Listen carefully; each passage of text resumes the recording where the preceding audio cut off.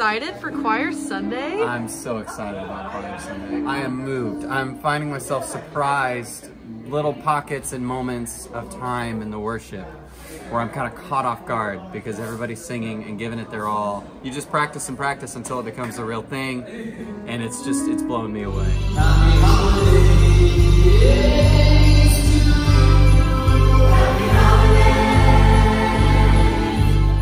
Excited today. It's powerful to hear everybody singing together, and uh, it's just been a great day. Months Yes. and months of preparation, and everybody's just killing it. Ryan, are you excited for Choir Sunday? I am so fired up. Are you pumped? I'm pumped. How excited are you right now? There's an incredible environment here, and we're riding the wave and having a really good time.